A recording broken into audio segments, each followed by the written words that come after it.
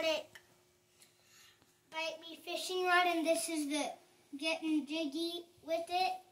And what you do is you get this bite me and you put it right here. And you get this pin and you put it through this hole. And then there's another hole. You would put it through.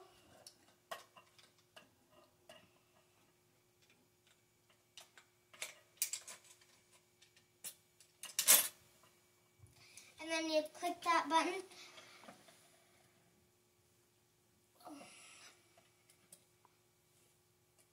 And then, so it just, you just pull this down. And when you click that, it um, moves this part and that part. And before you do that, you have to pull this part down.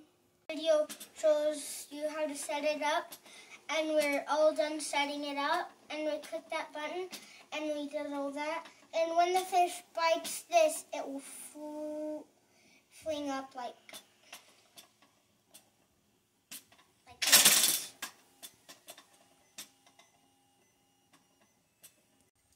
Then you'll be catching a lot of big fish and ice fishing.